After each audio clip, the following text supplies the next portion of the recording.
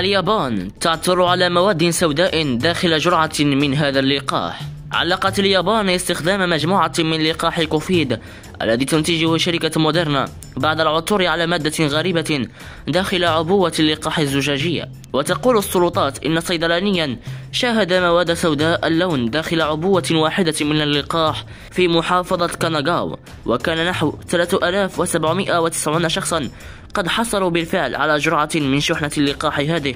وعلقت السلطات استخدام باقي الشحنة. يأتي ذلك في أقل من أسبوع من تعليق اليابان. استخدام نحو مليون جرعة من موديرنا بسبب التلوث. وعثر الصيدلاني على أجسام سوداء أثناء فحصه إحدى الجرعات بغية رصد وجود أي مواد غريبة قبل استخدام اللقاح. وجمع الموزع المحلي للقاح العبوات الزجاجية المشتبه في تلوثها. وأفادت تقارير وسائل الإعلام المحلية أنه لا يوجد أي دليل حتى الآن على وجود مخاطر صحية ناجمة. عن اللقاح المحتمل تلوثه وكانت شركة تاكيدا التي تبيع وتوزع اللقاح في اليابان.